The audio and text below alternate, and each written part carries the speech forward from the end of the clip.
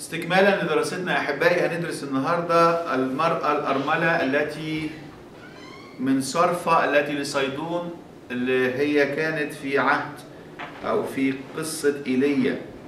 هنقرأ من ملوك الأول أصحاح 17 العدد الأول. ملوك الأول أصحاح 17 العدد الأول. وقال إيليا التشبي من مستوطني جلعاد لأخاب حي هو الرب. أخاب هو ملك إسرائيل الشرير.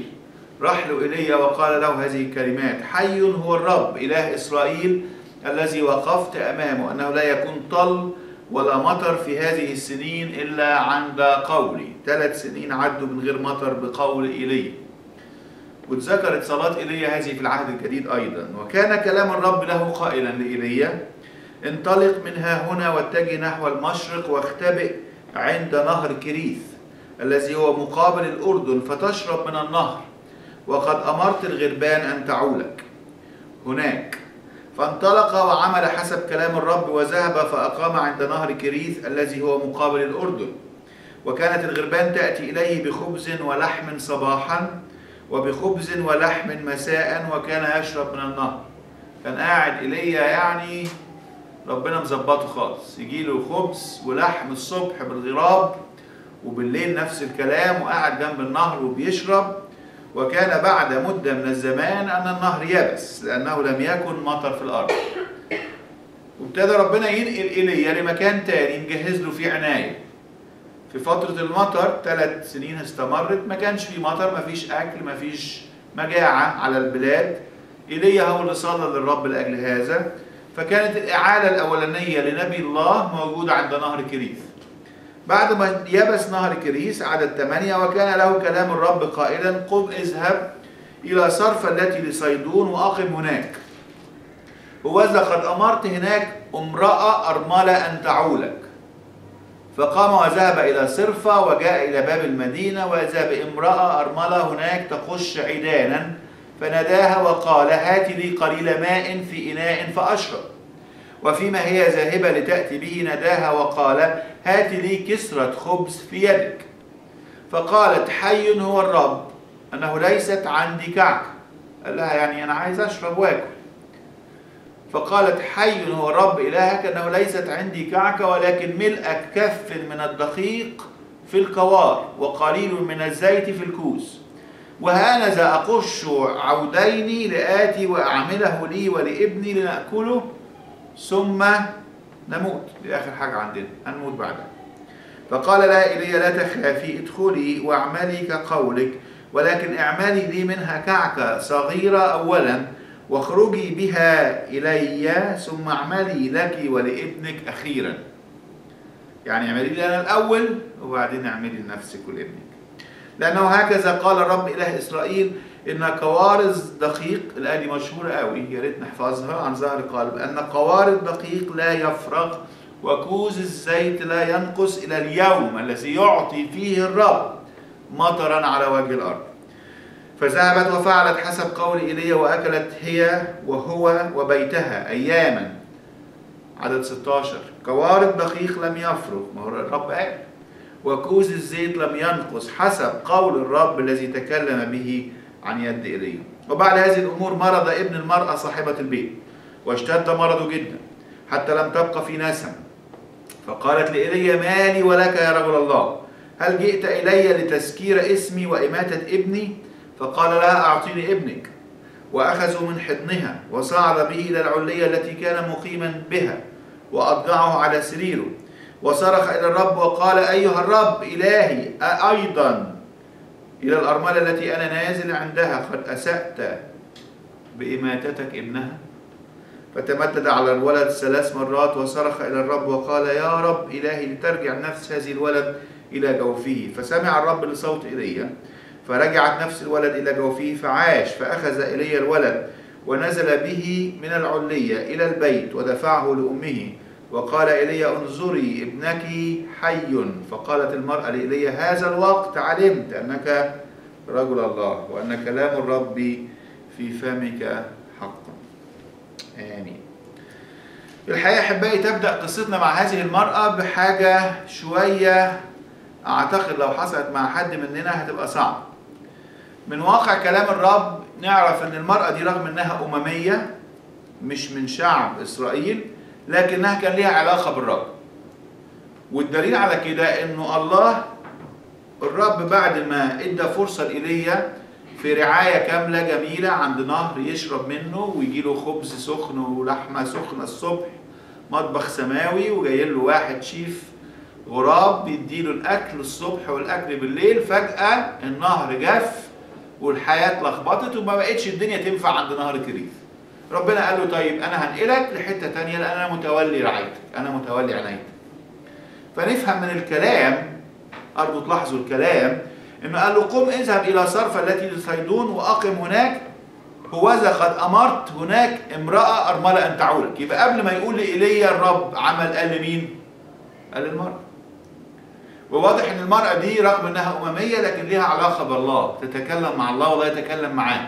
أرملة وفي تصوري انه رغم ظروفها وموت زوجها وابنها والمجاعة لكن هي إنسانة في علاقة بالله الحي الحقيقي وفي يوم من الأيام جه الرب فاجئها وقال لها إيه؟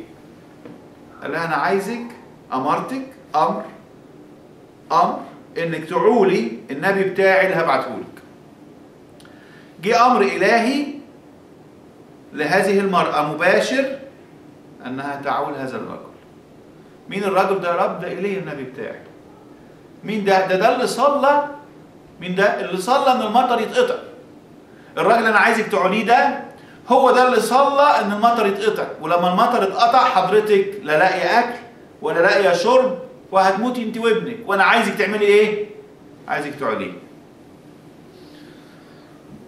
أنا الحقيقة أثق إنه الله بيدي كل إنسان أوامر لكن أنا متصور إن ده أغرب وأصعب أمر ربنا اداه لحد انت بتتكلم في إيه يا رب؟ انت عايزني اعول أنا الراجل؟ ده النبي بتاعك. طب ما تقوله طب وبعدين انت عايزني اعوله؟ طب وأنا عندي حاجة اعوله. ده أنا ارملة ومعايا يتيم وفي مجاعة وما عندناش اكل وما عندناش شرب. والراجل اللي سبب في المجاعة دي بعتهولي تقول لي عوليه. يعني ما هو لو تقول حاجة يا رب قولها بحيث يعني أقدر أفهمها أقدر أستوعبها. إيه الأمر اللي أنت طالبه مني ده؟ أنت طالب مني إن أنا اللي اعول الراجل الكبير اللي هو النبي بتاعك اللي أنت أولى إنك أنت تعوله اللي هو سبب مشكلتنا. طبعا أنت طالب مني طب منين؟ ما هو على رأي اللي بيقول يعني سامحوني في المثل بس يعني مش عارف كلف يا سيد يا جارية اخدم يا جارية. يعني اديني يا رب وأنا لأن أنت عارف إن اللي جوه مفيش فأنت جاي وأنت عارف أنت اللي جوه.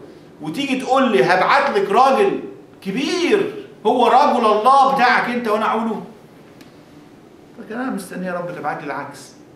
تبعت لي أنا هبعت لك واحد يديك دقيق انت بنتي وغالية عليا وعارف ظروفك وأرملة وعندك يتيم. ده أنا هبعت لك النبي بتاعي رجل الله جايب لك عربية يملى لك المطبخ. يعني ده المنطقي. يعني أنا متخيل أول ما ربنا قال الكلام ده ضحكت يعني عارف؟ نعم. انت بتقول إيه؟ طب اعوله إزاي؟ طب اعوله بإيه؟ طب مش لما أقدر أعول نفسي لما اعول ابني. عاوز أقول احبائي إنه أمور كتيرة من أمور الله بيبقى صعب علينا نفهمها. أوامر كتيرة الله بيطلبها مننا قد تكون خارج نطاق المنطق خارج نطاق المعقول. لكن صدقني أي أمر الله بيقوله لك في حياتك هو قابل للتنفيذ. حتى وأن يبدو إنه مستحيل. حتى وأن يبدو إنه يعني يا رب أنت بتتكلم أنت عايش في عالم تاني. أنت بتتكلم في إيه؟ ايليا مين؟ ده اللي أنا عيله وأنا أنا لاقي آكل ولا لاقي أشرب. يا أخي أنت خلي بالك من النبي بتاعك وسيبني في حالي ده أنا فاكرك أنت اللي هتبعت لي نبي يديني. هناك أمرت حتى يعني أنا متصور لو أنا من ايليا وبسمع ربنا. بس أنا بقول لي هناك أمرت عيلة غنية إنها تعيلك هناك أمرت ناس من أحبائي ولادي الحلوين المستريحين هيعلوك لكن يا رب أنت بعتني بتقول لي هناك أمرت امرأة أرملة تعولني صعبة صح؟ أوامر الله كتير صعبة لكن أمر لازم يتنفذ. أحيانا الرب يطلب مني حاجة صعبة. أنا مش قادر أعملها أنا مش قادر أحب فلان مش قادر أغفر لفلان. مش قادر أسامح فلان مش قادر أخدم فلان مش قادر أعمل الخدمة دي مش قادر أقدم التقديمة دي مش قادر أقدم التضحية دي مش هادي الوقت ده مش قادر يا رب ده صعب. ده أكتر من إمكانياتي. أنت عارف كده. أيوه أنا عارف كده. بس لو سمعت ولو صدقت هتقدر تعمل لأنه لا بالقوة ولا بالقدرة بل بروحي قال رب الجنود لما أدي أمر يا حبيبي أنا بديك معاه في نفس المظروف بتاع الأمر في نفس ال... في نفس الطرد اللي جاي لك بالأمر في نفس الإرسالية بدي لك حاجة اسمها نعمة تكفي إنك تتمم هذا الأمر إنك تطيع إنك تخدم إنك تعمل اللي بقول لك عليه. النعمة مبعوثة مع الأمر. لأن أنا عارف وزنتك.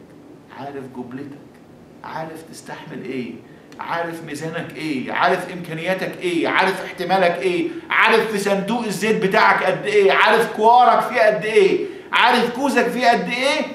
وأنا المسؤول أنا المسؤول. ما تستصعبهاش. بس خليك خاضع أبونا إبراهيم اتحط له أمر. مش ممكن مش ممكن. بتتكلم في إيه؟ بتتكلم في مين؟ قدم ابنك وحيدك الذي تحبه إسحاق مذبح على مذبح ذبيح على جبل مريم بتتكلم في إيه يا رب؟ أنت بتتكلم في إيه؟ ده كلام يعني ما ينفعش. وكثير من أمور الله تبدو أنها لا تنفع. لكن كلها قابلة للتنفيذ. كلها قابلة لأن تكن سبب بركة حقيقية في حياتك. لما تلاقي الله عايز منك حاجة أرجوك اقعد. واسمع واستنى وما تستصعبش وما تهربش وما تجريش وما تلاقيش السفينة رايحة ناحية ترشيش تقوم حضرتك حاطط رجلك فيها لأن الله يريد أن يصنع في حياتك أمور رائعة حتى وإن تبدو مستحيلة لأن هو اللي هيصنعها مش أنت اللي هتصنعها. هو اللي هيصنعها مش أنت اللي هتصنعها. جاء هذا الأمر لهذه الأرملة. وطبعا الأمر في هذا المستوى في هذا الوقت كان صعب جدا على الإيمان صعب جدا على الطاعة. عشان كده لما راح لها إيليا تلاحظوا إنها كانت عارفاه لأن الله كان متكلم معاه. فأول ما قال لها هاتي لي قليل ماء في إناء فأشرب وفيما هي ذاهبة يعني لتأتي به نداها. وقال هاتي لي كسرة خبز. وهي بيكلمها فقالت له حي هو الرب إلهك. أنا عارفه أنت مين. ما أنت إلهك قايل لي إن أنا أعولك. وأنت النبي بتاعه. بس أنا بقولها لك من الآخر حي هو الرب إلهك أنا ما عنديش. جابتها له على البلاطه قال لي أنا عندي ملء كف من الدقيق وقليل من الزيت هعمل عودين وأكلة وأنا وابني هنموت. والحقيقة أحبائي أنا ما أقدرش ألومها. اوعى حد يفتكر إن أنا بلوم. بس عايز أقول لكم إنه أول مستوى من الإيمان إنك تطيع من غير تفسيرات. تطيع من غير عوامل مساعدة. تطيع من غير ما ربنا يديك يبعت لك حاجات كده تزقك وتساعدك وتسندك وتفهمك. ده مستوى رائع من الإيمان. ما كانش موجود هنا ما قدرتش. قالت له بصراحة سيدك قال لي ربك قال لي بس أنا بقول لك يعني هو بعتك ليا آه يعولك وهو كلمني صحيح بس أنا بقول لك من الآخر انسى الكلام ده لأنه ما فيش حاجة. أنا مش هقدر أمشي في السكة دي. السكة دي صعبة عليا. في ناس ربنا بيديها نعمة إنها ممكن تطيع من غير تفسيرات. هو أمر إلهي وجالي وأنا عارف إنه جاي من الرب هنفذه. إيه تفسير؟ يا رب هتساعدني إزاي؟ هتعمل إيه؟ مفيش مشكلة. زي أبونا إبراهيم. أبونا إبراهيم كان في المستوى الإيمان ده كان رائع. ليه؟ لأنه جاله إيه؟ قال له قم أخرج من أرضك ومن عشيرتك إلى الأرض التي أنا اريد طب يا رب ليه؟ طب إزاي؟ طب فين؟ طب هروح إيه؟ مفيش تفسيرات. مفيش عوامل مساعدة مفيش أمور تساعدك. ورغم ذلك لأن أبونا إبراهيم إيمانه عظيم. بالإيمان إبراهيم لما دعي أطاع وخرج وهو لا يعلم إلى أين يذهب. ده مستوى إيماني رائع. يا رب هطيع وهصدق من غير مناوشات من غير مناقشات من غير ما نتفاهم إزاي ده صح وإزاي ده معقول ومش إزاي ده هيحصل. من غير يا رب ما تديني سندة كده وتبعت لي معجزة وتبعت لي حاجة توريهاني وتبعت لي حاجة عظيمة كده تشجعني. لا لا لا أنا هسمعك. أنا بصدقك مستوى رائع من الإيمان. نوح أوحي إليه ان يبني فلك طب ليه فلك وإزاي مية هتيجي هنا؟ وإزاي هيحصل؟ وإزاي الدنيا هتغرق إيه ده كله؟ الأسئلة دي كلها. لا خلاص يا رب. أنت عايز نبني فلك هبني فلك في ناس ربنا بيديها مستوى من الإيمان الأمور تيجي تتصدق. يشوع أنا عايزك تلف سبعة أيام. طب ليه سبعة أيام؟ وليه سبع يوم تلف سبع مرات؟ ما بس هو قالها كده.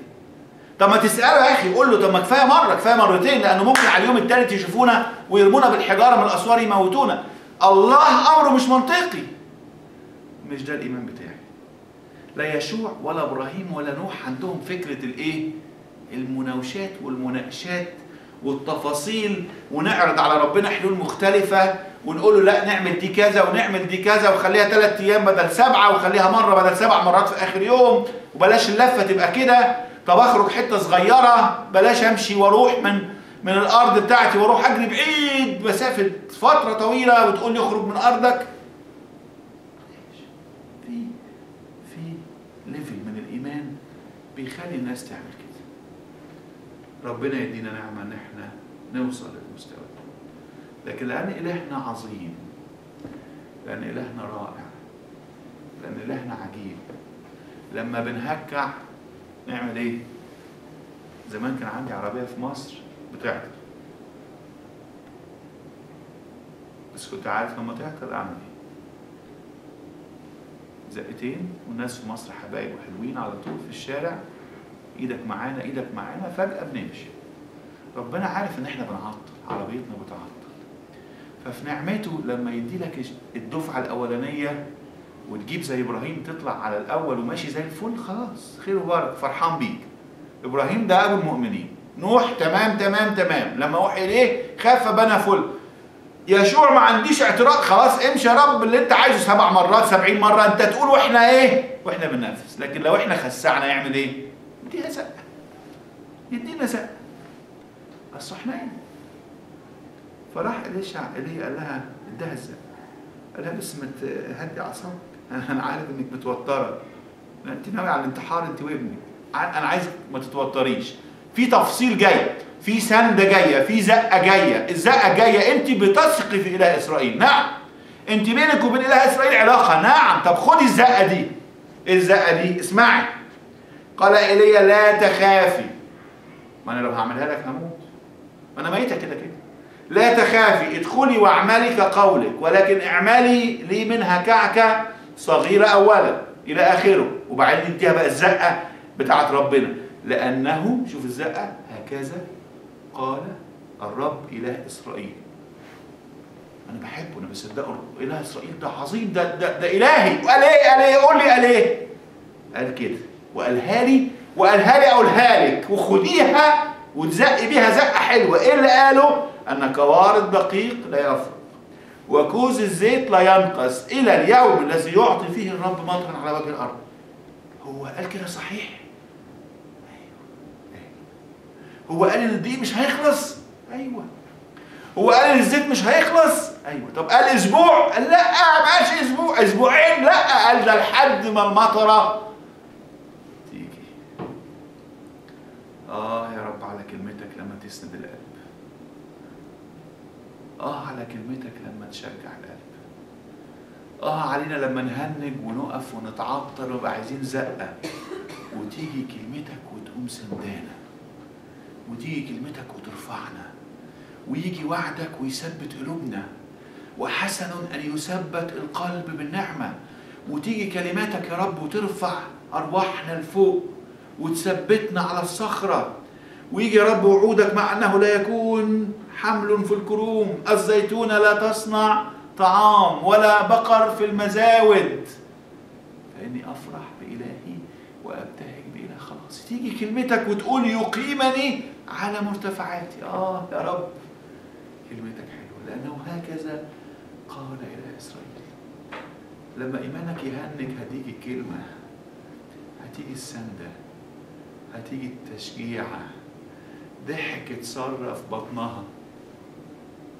ضحكت أبعد فنائي يكون لي ابن. وسيدي قد شاخ. ضحكت. هنجت. هنجت. فراح الله وهو في الخيمة. قال له بقول لك إيه؟ قول لسارة. قول لسارة. قول لها الكلمة دي عشان التهنيجة تروح. قول لها انه لا يعصر. هل يستحيل على الرب شيء؟ قول لها الكلمات دي. وتحول إيمان صار تحول خيبة ساره وضعفها إلى قوة. ليه؟ جه الوعد لا يستحيل عليه شيء. عشان كده في عهد الجديد يقول بالإيمان ساره أخذت قدرة على إنشاء نسل إذ حسبت أن الذي وعد إيه؟ صادق. ما هو قالها وهو في الخيمة ووعد وأنا صدقته. هنج إيماني راح عمل إيه؟ راح اداني الكلمة. أخويا وأختي أرجوكم بنعمة المسيح. لما الإيمان يهنج لما الكمبيوتر يفريز لما ما تبقاش فاهم عارف تتحرك. قول له مستني كلمتك قول لي مستني وعدك.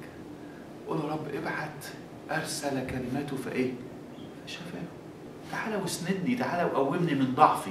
تعالى ورجع لي وعودي وثقتي فيك. هكذا قال إله إسرائيل. أنا بحبه هو قال كده؟ أيوه خلاص. عشان كده بعد التهنيجة دي ما راحت. يقول الكتاب إيه؟ بعد ما قال لها كوارد أله إسرائيل قال كده فذهبت. وفعلت حسب قول ايليا وأكلت هي وبيتها اياما. والوعد حصل ولا لا؟ نعم. كوار الدقيق لم يفرغ وكوز الزيت لم ينقص حسب قول الرب الذي تكلم به عن يد حسب قول الرب الذي تكلم به عن يد إليه. مرة جدعون ربنا دعاه. راح هنج برضه. هنج. قال له طيب. خد عندك دي. اداله حلم رغيف خبز الشعير يتدحرج في المحل. هنج تاني. خد عندك. عايز إيه؟ أنا أنا أنا النهارده عشان اشجعك. هات الجزة. قال له حطها. طب يا رب وتبلها. قال له ماشي. وخلي البيدر ناشف. قال له طب معلش يا رب حتة كمان. اعكسها. نشف. نشف الجزة وبل البيدر. قال له ماله؟ أنا عايز أشجعك حبيبي. كلماتي لتشجيعك. أنا عايز إيمانك يتحرك أنا عايزك تثبت أنا عايزك تقف على رجليك. عارفين لما عيالنا يبقوا مش عارفين يمشوا؟ تقعد معاهم عشان عايز تسندهم عايز تشجعهم. الله عايز يعمل كده في إيماننا. لو إيمانك مش من الدرجة الأولى زي إبراهيم ومن الدرجة الثانية الله موجود. موسى العظيم ما جابش إيمان من الدرجة الأولى. ليه؟ لأن قال له روح. قال له روح. من أنا؟ قال له أنا اكون معك. خلصت بقى موسى. ربنا قال لك أنا اكون معاك. قال له لا لا لا يا عم. وروح أقول لهم مين؟ قال له روح قول له أهيا الذي أهيا. لا لا بقول لك إيه؟ أنا لو رحت مش هيصدقوني. قال له طب يا عم ما تزعلش إيه اللي في إيدك؟ دي عصاية. ارميها. رميتها بقت حية. امسكها بقت عصاية. إيه رأيك؟ يصدقوك؟ لا. طب ما تزعلش. حط إيدك. دخلت طلعها بقت برصه دخلها تاني راح. إيه ينفع؟ قال له لا يا رب لا برضه مش هيصدقوني. طب هات المية. كبها على الأرض بقت دم. ها ثلاث معجزات هتعملهم قدامه لا لا مش هيصدقوني. بعدين قال له لا طب بقول لك إيه يصدقوني ما يصدقونيش أنا لا بتاع كلام ولا كلام منذ امس ولا يوم. قال له هبعت معاك هارون يتكلم. طب أعمل فيك إيه؟ يا موسى أكتر من كده. اشجعك أكتر من كده إزاي؟ أسندك أكتر من كده بإيه؟ أزق التهنيجة اللي أنت فيها أكتر من كده إزاي؟ ألا تسمع؟ آه يا أحبائي نحن نتكلم عن رجال الله الأتقياء بهذه الصورة لكن صدقوني إحنا أضعف بكتير من الكلام ده. إحنا كتير بنقول نفس الكلام. بص سيدك قال لي بس أنا بقول لك هي كعكة شوية بتاع وشوية بتاع واكلهم واموت لكن النهارده الرب عايز يسمعك الكلام ده. هكذا قال إله إسرائيل. قال إيه؟ قال أن كوار الدقيق يفرغ وكوز الزيت لا ينقص حتى اليوم الذي يعطي فيه الرب. مطرا على وجه اوعوا تفتكروا انه لما بتجيلك كلمة ربنا بتبقى سهلة انك تصدقها. أو بمعنى آخر خليني أبقى صحيح معاك. يوم ما ربنا يبعت لك كلمة عشان يسند إيمانك ما بتبقاش سعادتك واقف لوحدك كده. خالص. تبقى معاك واحد تاني بيقول لك ما تصدقش. واحد محترف اسمه كذاب وأبو الكذاب. محترف يخليك ما تصدقش كلمة الله. محترف يشككك محترف يجيب لك أفكار خزعبلية تنتهي إن اللي بيقوله ربنا ده في شنك ده ما بيوقف ما بيسيبكش. ليه؟ لأنه ملتمسا من يبتلعه يجول حولك زائرا. عشان كده. وهي كلام الله لإيليا بيتقال لها في واحد بيقول له ده كلام يتصدق؟ طب هو أنت شفت يا أختي حاجة حصلت قبل كده؟ إن الكوز يبقى فاضي وتقولي لي مليان. إيه الكلام ده؟ إيه كلام المؤمنين اللي أنتوا بتقولوه ده. وإيه اللي يضمن لك الكلام ده؟ عشان كده مش سهل. لما بيجي لك التشجيع ما بيبقاش ما فيش حد تاني بيحاول يضيعه. ما فيش حد تاني بيحاول يبعده. ما فيش حد تاني بيحاول يهز سلامك ويهز إيمانك ويهز ثقتك. يا ستي تصدقي الكلام ده إزاي؟ ده كلام لا يتصدق ولا عمره حصل ولا في أي. ما فيش أي ضمان. ده بيقول لك ده كلام في الهوا. عارفة لو ضمان؟ روح قولي له خلي إلهك يملى لي البيت. 16 كيس دقيق وخمسة جالون زيت وأنا أمشي معاك زي الفل. أشوفهم بعناية واطمن مش ده اللي بيقوله؟ عايز حاجة تطمن بيها. تصدقيش الكلام ده مفيش أي ضمان. هكذا أحبائي تأتي الحرب. لكن نشكر الله العظيم لانها لاول ما سمعت هكذا قال إله إسرائيل. قامت وطلعت وتحركت وفعلت حسب قول إيليا وأكلت هي وبيتها. اياما في الأول جه أمر صعب تنفيذه لكن الله جه بعدها بالوعود وبالتشجيع وبالبركة عشان ينفذه. هختم مع حضراتكم أحبائي هل كان هذا أمر صعب؟ نعم صعب. وعايز أذكر نقطة واحدة للصعوبة وهكمل المره الجاية. كتير بيبقى صعوبة التصديق والإيمان مرتبطة بالوضع اللي إحنا فيه. بمعنى اسمعوني في دي وأنا خلاص خلاص. بمعنى أن اللي عندي قليل قوي. قليل قوي. يعني يعني انت عايز تصدق إزاي وانت جاي لواحده أرملة ومعاها يتيم واللي عندها شوية صغيرين وشوية صغيرين قوي؟ ما اللي عندي قليل. والسؤال اللي دايما ربنا بيساله لنا لما تجيلنا الصعوبة دي. هل الله عنده مانع أن يخلص بالقليل وبالكثير؟ والله الله ما يعرفش يخلص غير بالكتير أنا إمكانياتي قليلة قوي أنا مواهبي قليلة قوي أنا اللي عندي قليل قوي أنا ما ينفعش في الخدمة دي أنا ما ينفعش أشيل المسؤولية دي أنا ما ينفعش أبقى قد الأمانة دي أنا ما عنديش كتير أنا ضعيف خالص أنا ولا حاجة. طب ما هو اللي كل حاجة. هو الله عنده مانع أن يخلص بالقليل وبالكثير. لماذا يقول الضعيف بطل أنا؟ عشان هو بطل ولا عشان الله جعله بطل؟ لماذا لا يعتسف الأعرج بل بالحري يجري؟ عشان إيه؟ عشان ركبنا له رجل صناعية؟ ولا عشان الله ليس عنده مانع أن يخلص بالكثير وبالقليل؟ أرجوك بلاش صغر النفس الروحي. بلاش تقول اللي عندي قليل. لا تقل قالها الرب بصراحة. لا تقل إني ولد. اللي عندك مش قليل. إبرام مرة خد راح حارب أربع ملوك. خد معاه كام واحد؟ 318 واحد يحارب أكبر أربع ملوك في هذا الوقت. قليل ولا مش قليل؟ قليل جدا. قليل جدا. عشان كده ما تبصش ان عندك قليل. بص إنك عندك أب غني. عنده الكل. مزخر فيه كل كنوز الحكمة والمعرفة.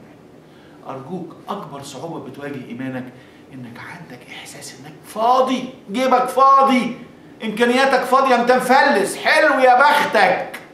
أصلك لو مفلس غناه عندك. ده مرة واحد كان غني ربنا فلسه. يعني إيه؟ كان عنده كتير. جدعون عشان يحارب المديانيين راح عمل دعوة جاله 32 ألف واحد. أو ينفعوا في الزنقة ده المديانيين دول زي الجراد يوم ربنا يصفصفهم له ويقول له بص أنا مش عايز من 32000 دول غير 300 ليه يا رب؟ هو تعذيب؟ انت بتعذبني؟ انت مش كفاية بعتني في مهمة صعبة. يوم يجي لي 32000 تقول لي شربهم ومش عارف خليهم يعملوا إيه وايه وبعدين يقول لي هم ال 300 اللي تروح بيهم. يا سلام يا رب. يا سلام يا رب. يا سلام لما تستخدم القليل بتاعي. يا سلام لما أجي لك بكل ضعفي وبكل عدم إمكانياتي وبالسفر اللي أنا فيه. يا سلام يا رب لما أشوف عصا موسى عصايه حتة عصايه خشب بذمتكم تعمل عشر ضربات وتشق بحر إيه ده؟ إيه الإله العظيم ده؟ إيه الإله العظيم ده؟ إيه الإله اللي يقدر يتمجد بالصورة العظيمة دي؟ إله عظيم لا يعصر عليه كتبت امبارح على الفيسبوك وأنا بقرأ الجزء ده وجمعت الثلاث أرملات. هذه الأرملة اللي ما كانش عندها غير إيه؟ شوية صغيرين قوي.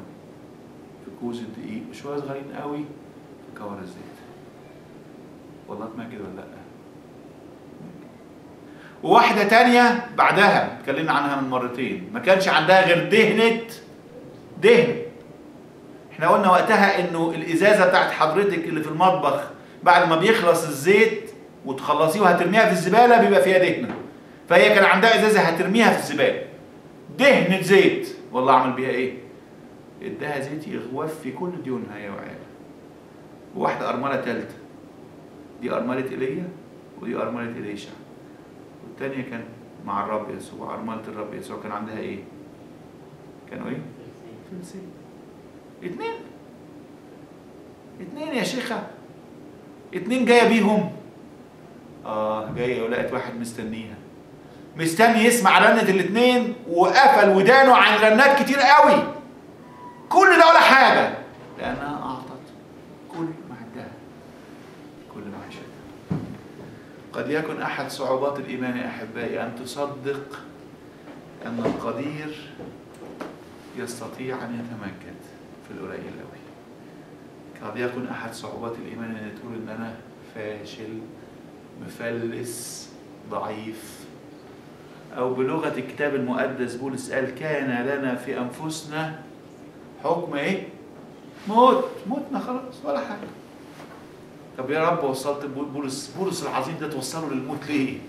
هو نفسه يقول لكي لا نكون متكلين على أنفسنا ما هي ماتت بل على الله الذي الاموات. هل الله يستطيع أن يعيد إيماننا تاني؟